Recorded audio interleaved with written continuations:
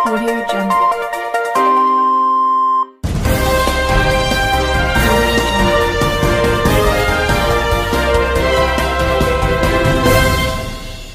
నమస్కారం RK communication city news కి స్వాగతం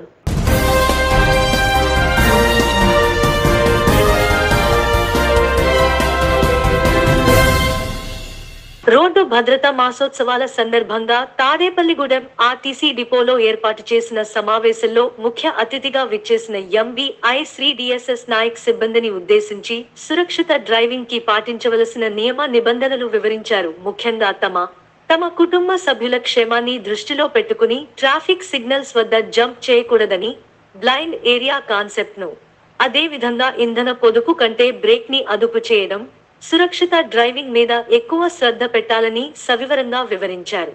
ఫోర్ బార్ కానీ ఇస్తాడు. కొన్ని కొన్ని కంపెనీస్లో ఫైవ్ బార్ ఇస్తాడు. కొన్ని కొన్ని కంపెనీస్లో ఫోర్ ఇస్తాడు. డిపెండ్స్ అపాన్ దానికి ఇచ్చిన రోజు రోజు వాళ్ళు చాలా టెక్నాలజీస్ మారుస్తున్నారు. సో మరి అలాంటి సిస్టమ్స్ ఇప్పుడు మన వెహికల్లో ఉన్నప్పుడు యాక్సిడెంట్ జరిగితే తప్పిదం అవుతుంది ఎక్కువగా ఏంటంటే మనకి జరుగుతున్నది యాక్షన్స్ అన్నీ కూడా ఏంటంటే మ్యాక్సిమం కటింగ్స్లో మీకు ఎందుకనంటే లెఫ్ట్ సైడ్ కటింగ్లోకి వచ్చేటప్పటికి మన మిర్రర్లో మీరు కట్ చేసేటప్పుడు చూస్తే మిర్రర్లో చూస్తారు. చూస్తే ఎంతవరకు కనపడుతుంది మిర్రర్లో? బ్లైండ్ వ్యూ ఒకటి ఉంది కదా మనకి. తెలుసుగా బ్లైండ్ వ్యూ? అడే ఉందా?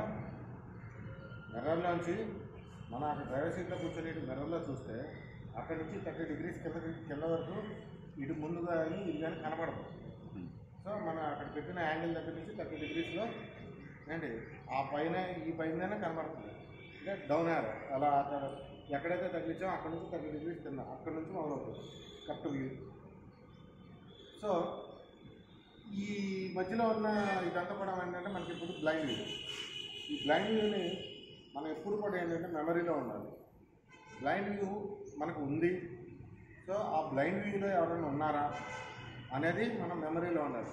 వెన్ ద వెహికల్ స్టాప్ మనం ఆపేటప్పుడు కానీ మళ్ళీ మనం మూవ్ చేసేటప్పుడు కానీ ఎందుకనంటే మనం ఆపిన తర్వాత సిగ్నల్లో ఆపారు సపోజ్ ట్రాఫిక్ సిగ్నల్లో ఆపారు. ఆపే ఆపే ఆపేటప్పుడు మీకు ఇటు ఇటు రైట్ సైడ్ కానీ లెఫ్ట్ సైడ్ కానీ బ్లైండ్ వ్యూలో ఎవరు కనపడలేదు. కనపడదు.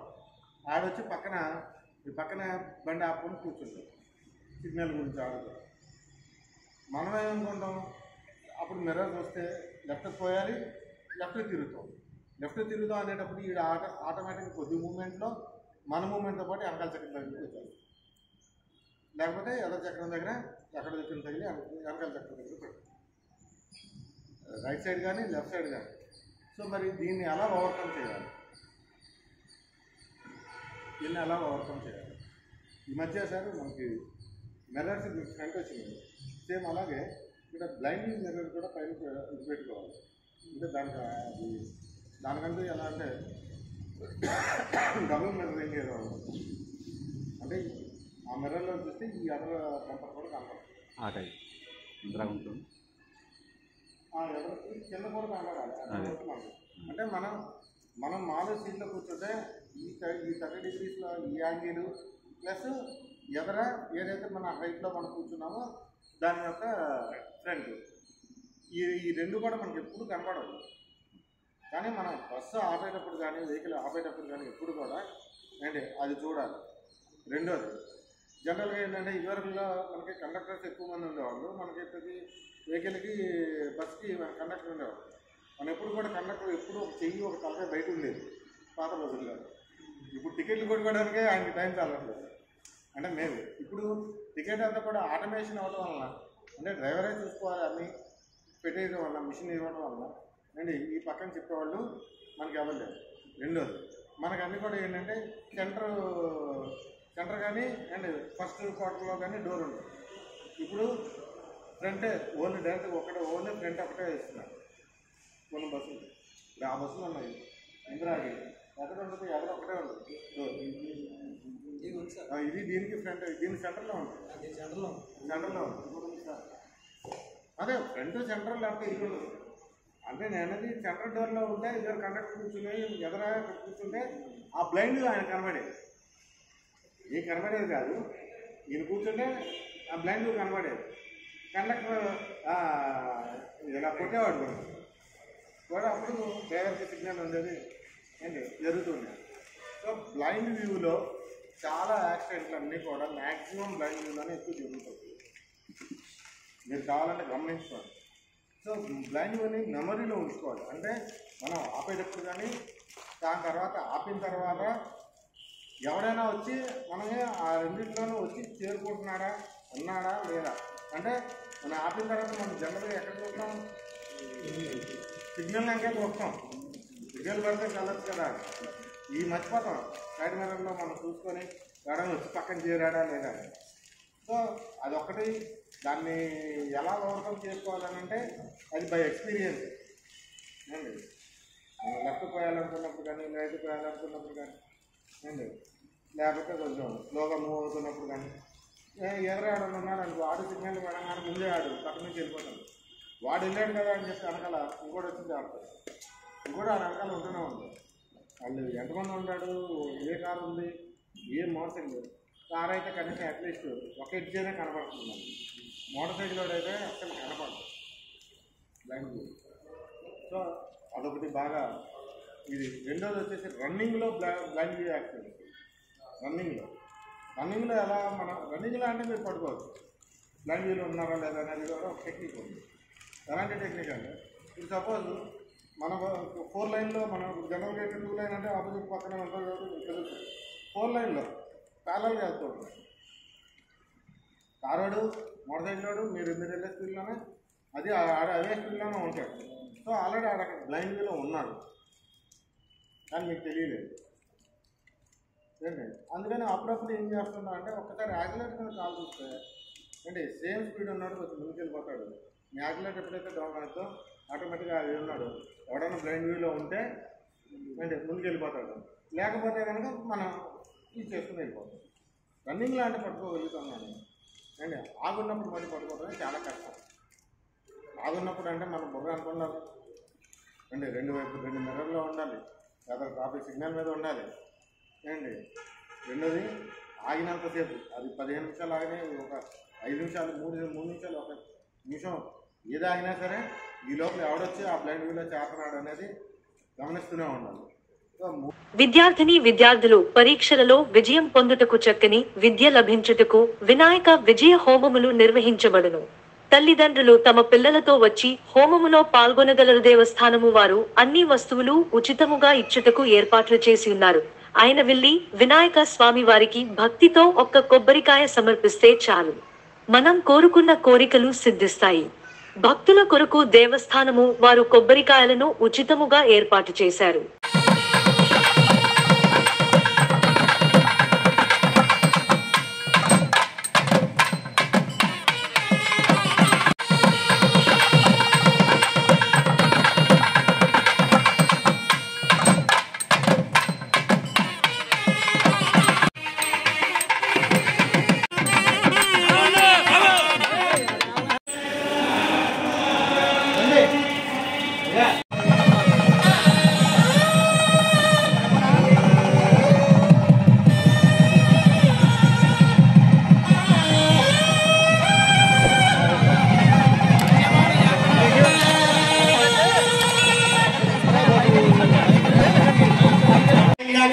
समर्प्यवैर्मद्यसहस्रनामभिर्मामद्य यत्योद्धरवेण बिल्वैः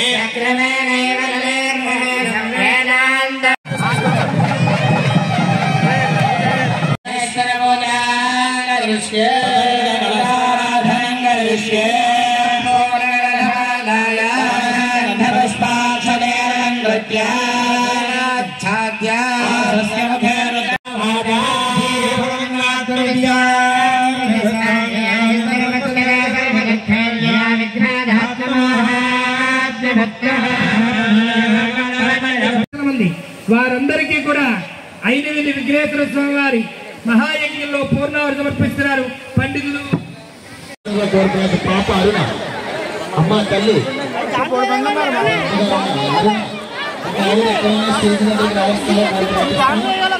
మీ పాపగారు ఇక్కడ స్టేజ్ దగ్గర ఉన్నారమ్మా. ఇక్కడ స్వామివారి కళ్యాణం జరిగిన స్టేజ్ దగ్గర ఉన్నారు. అరుణ ఆ తల్లి ఎక్కడున్న స్టేజ్ దగ్గరికి రావాల్సిందిగా కోరి ప్రార్థిస్తున్నాం. ఓం శ్రీ మహాగణాధిపతే నమ. స్వామివారి కళ్యాణం జరిగిన ఆ విఘ్నేశ్వర స్వామి దగ్గర ఉన్నారు ఆవిడ. ఎక్కడైనా ఇక్కడ రావాల్సిందిగా కోరి ప్రార్థిస్తున్నాం. పశ్చిమ గోదావరి జిల్లా తాడేపల్లిగూడెం కపర్ది భవనంలో ఆంధ్రప్రదేశ్ వ్యవసాయ కార్మిక సంఘం జిల్లా సమితి సమావేశం సంఘం అధ్యక్షుడు కలిశెట్టి వెంకట్రావు అధ్యక్షతన నిర్వహించారు. గ్రామీణ ముఖ్యంగా గ్రామీణ ప్రజలకి మనం అండగా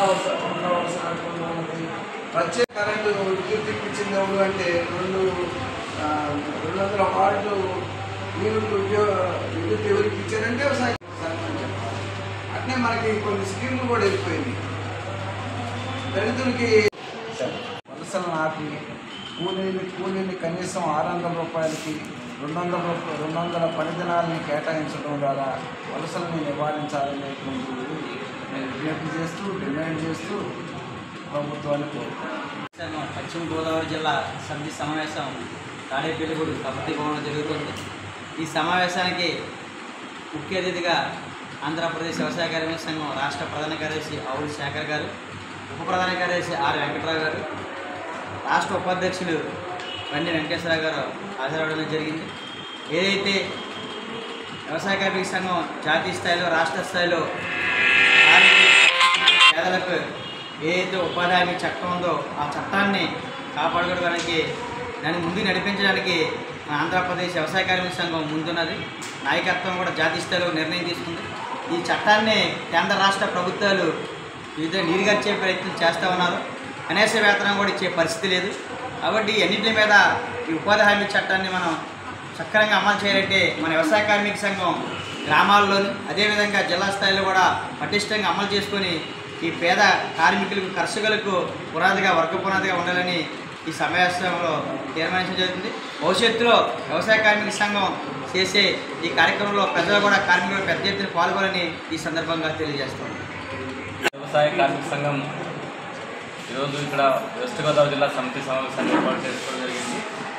ఈరోజు ఈ జిల్లాలో జరుగుతున్నటువంటి పేదవారికి అన్యాయం అన్యాయాలు వ్యతిరేకంగా అదేవిధంగా ఏదైతే పేదవారి సమస్యలను అడిపోయిన అనేక అంశాలపై భవిష్యత్తులో ఈ జిల్లాలో వారి సమస్యలపై పోరాటం చేయాలని చెప్పేసి కలిపి ఇక్కడ ఈ సమావేశం జరిగింది. ఈ సమావేశంలో నాతో పాటు రాష్ట్ర ఉప ప్రధాన కార్యదర్శి సార్ వెంకట్రావు గారు జిల్లా అధ్యక్షులు వెంకట్రావు గారు అదేవిధంగా జిల్లా కార్యదర్శి కలిగి లక్ష్మణ్ గారు నాగలక్ష్మి గారు అనేక మంది పాల్గొంటూ ఉన్నారు. ముఖ్యంగా ఈ రాష్ట్రంలో పేదలు ఇప్పటికీ పేదలుగా మిగిలిపోతున్నారు తప్ప పేదల సమస్యల పరిష్కారం కావడం లేదు. ఏ ప్రభుత్వం అధికారంలోకి వచ్చినా కూడా పేదల సమస్యలపై దృష్టి పెట్టుకుని కేవలం ఎన్నికల వాగ్దానాలు చేసి ఎన్నికల వారు ఏదైతే ఎన్నికల్లో వచ్చినటువంటి వాగ్దానాలు వాటి మాత్రమే అమలు చేయడం తప్ప వేరేది ఈ రాష్ట్రంలో జరగడం లేదు. అందుకే ముఖ్యంగా పేదలు రాజకీయంగా సాంఘికంగా ఆర్థికంగా ఎదగాలంటే భూములు పంచాల్సిన అవసరం ఉంది. ప్రభుత్వం ఈ రాష్ట్రంలో దాదాపు ముప్పై లక్షల ఎకరాల భూములు ఉన్నాయి. వాటి అన్నింటిలో పంచాల్సిన అవసరం ఉంది ప్రభుత్వాలపైన ఉంది. అయితే ఏ ప్రభుత్వం అధికారంలోకి వచ్చినా భూమి సమస్యను దాటవేస్తూ ఉంది. మరి స్వర్గీయ ముఖ్యమంత్రి వైఎస్ రాజశేఖర రెడ్డి గారు తల్లిడు వైఎస్ జగన్మోహన్ రెడ్డి గారు రాష్ట్ర ముఖ్యమంత్రిగా వచ్చినప్పుడు మేము సంతోషపడ్డాం. ఎందుకంటే ఈ రాష్ట్రంలో కోనేరు రంగారావు గారు భూ కమిటీ సిఫార్సులు అమలు చేస్తారని చెప్పేసి. అయితే ఈ రాష్ట్ర ముఖ్యమంత్రి జగన్మోహన్ రెడ్డి గారు కూడా కోనేరు రంగారావు భూ కమిటీ సిఫార్సులు పూర్తిగా చిత్తబుట్టలో పాట జరిగింది. ఈ కోనేరు రంగారావు గారి భూ కమిటీ సిఫార్సులు అమలు చేయడం వల్ల భవిష్యత్తులో పేదవారికి భూమి సమస్య భూమి సమస్య పరిష్కారం అవకాశం ఉంటుంది కాబట్టి ఈ సిఫార్సులు అమలు చేస్తేనే ప్రతి పేదవాడికి మూడు ఎకరాల భూమి ఇవ్వడానికి అవకాశం ఉంటుంది. మరి ఈ రాష్ట్ర ముఖ్యమంత్రి తన పుణ్యకాలను పూర్తిగా బటన్ నొప్పుల కార్యక్రమంతోనే ముగించాడు తప్ప ఆ బటన్ నొప్పుల కార్యక్రమంతోనే మొత్తం పేదల సమస్యలు పరిష్కారం అవుతాయంటే అది సాధ్యమయ్యే పరిస్థితి కాదు. కాబట్టి భూమి సమస్య పరిష్కారం అయితేనే పేదవాడి సమస్య పరిష్కారం అవుతుంది. పేదవాడు ఆత్మగౌరవంతో బతకడానికి అవకాశం ఉంది కాబట్టి రేపు రేపు రాబోయేటువంటి ఎలక్షన్లోనైనా ఖచ్చితంగా పేదవారికి భూమిని పంచుతారు. అధికారంలోకి వచ్చిన తర్వాత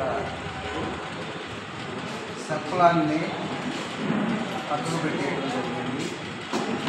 బడ్జెట్లో సప్లాను ఉండనేటువంటిది కూడా మర్చిపోయి దళితుల్ని గిరిజనులు కూడా ఓసీలతోటి సమానంగా చూసేటువంటి పరిస్థితి వాడికి రావాల్సినటువంటి ప్రత్యేకమైనటువంటి ప్రణాళిక ఉప ప్రణాళిక నిధుల్ని వాటికి కేటాయించాల్సినటువంటి అవసరం ఉన్నదని ఈ బడ్జెట్లో కూడా సప్లై నిధులను ప్రత్యేకంగా కేటాయించాలని భూమిని రాజశేఖర రెడ్డి గారు ఉన్న టైంలో కోటి ఎకరాలు పంచడానికి వీలుగా ఉన్నది.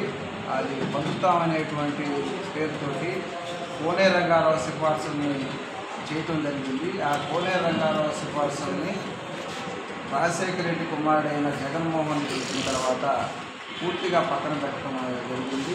ఇప్పటికి కూడా ఆత్మ గౌరవాన్ని పెంచి వాళ్ళకి జీవనాధారంగా ఉండే భూమిని పంచాల్సినటువంటి అవసరం ఉన్నదనేటువంటి కోరుతున్నాం. అట్నే ఇళ్ళ స్థలాలకి ఇళ్ళు స్థలాలు కేటాయించేది ఎంతో కొంత.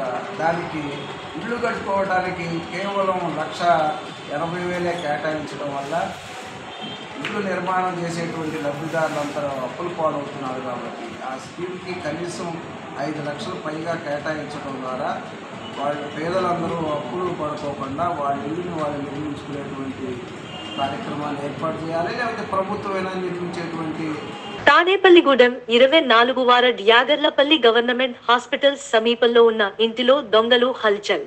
రెండు రోజులుగా ఇంట్లో ఎవరూ లేకపోవడం అదనగా చూసి రాత్రి ఇంట్లోకి చొరబడ్డ దొంగలు ఉదయం ఇంటి యజమాని రాము ఇంటి తలుపులు తెరిచి ఉండడంతో ఇంట్లోకి వెళ్ళి చెక్ చేయగా వస్తువులన్నీ చెల్లాచెదురుగా పడి ఉన్నాయి. సుమారు ఇరవై కాసులు బంగారం ఎనిమిది లక్షలు క్యాష్ అపహరించినట్లు బాధితుడు రాము తెలిపారు. సమాచారం అందుకున్న టౌన్ సిఐ సుబ్రహ్మణ్యం తన సిబ్బందితో సంఘటన స్థలానికి చేరుకొని కేసు నమోదు చేసి దర్యాప్తు చేపట్టారు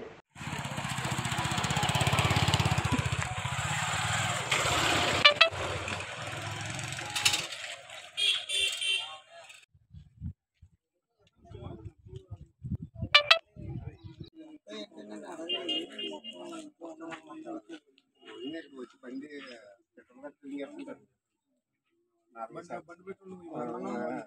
చాలా పెట్రోల్ కూడా ఉండదు. యాక్చువల్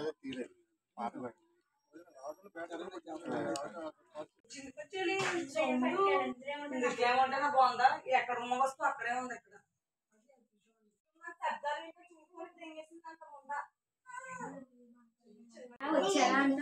వచ్చినప్పుడు కదా. కనుక వచ్చారని ఒక మాట చూడు వెంకర్ ఎంత వస్తాయి.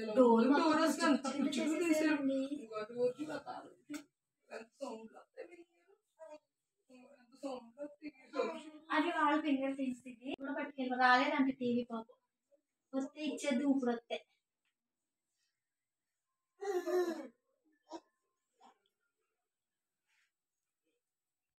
కొంచెం చూసుకోవాలి కదా అంకుల్ ఏదైనా బీరువా కూడా చేశారండి బీరువా చూడాలి డోర్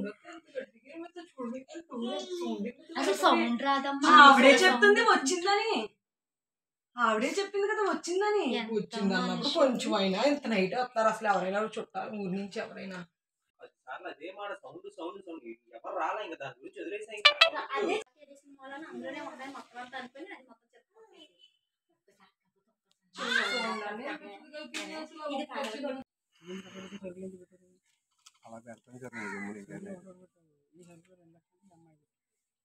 నా పేరు తామాడ సంధ్యారాణి. మేము తాడేపల్లిగూడెం ఇరవై నాలుగో వార్డులో ఉంటున్నాము.